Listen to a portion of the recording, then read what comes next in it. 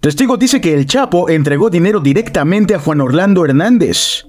Joaquín El Chapo Guzmán Loera entregó dinero directamente al expresidente de Honduras, Juan Orlando Hernández, como parte de sus negocios de narcotráfico de droga hacia los Estados Unidos. Así lo reveló Amílcar Alexander Ardón Soriano, exalcalde de El Paraíso, Honduras, el segundo testigo en el juicio del expresidente hondureño en la Corte del Distrito Sur de Nueva York. Afirmó que fue testigo de cuando el ex líder del cártel de Sinaloa entregó al menos un millón de dólares a Jo. Hernández enfrenta tres cargos, conspiración para la importación de cocaína, posesión de ametralladoras y dispositivos destructivos y conspiración para la posesión de ametralladoras y dispositivos destructivos. El primer testigo, José Sánchez, el contador de uno de los socios del exmandatario hondureño, relató la estructura de corrupción de Hernández y lo conectó directamente con el narcotraficante Giovanni Fuentes Ramírez, quien está condenado en Estados Unidos.